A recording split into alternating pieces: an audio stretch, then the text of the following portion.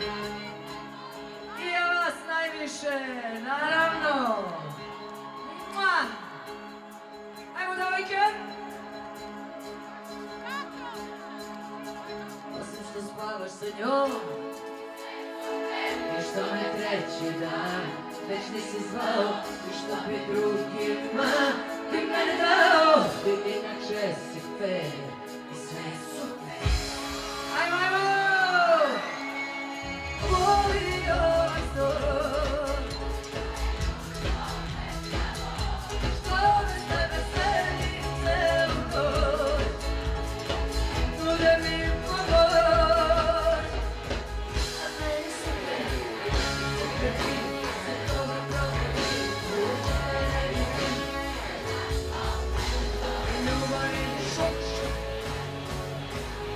Noćas ti je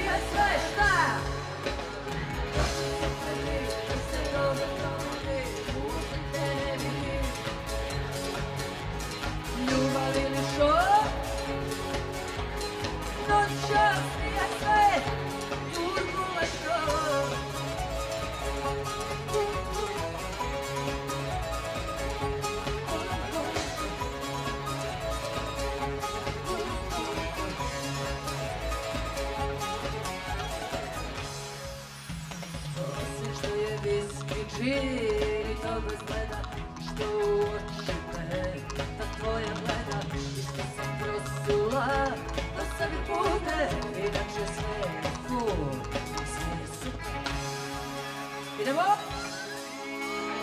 Voli ovaj sto,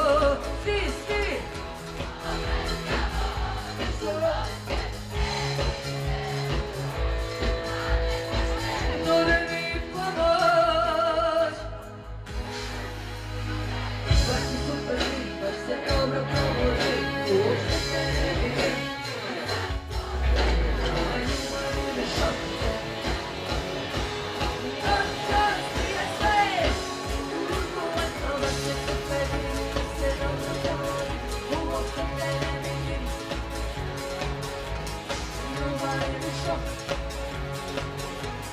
Not shot.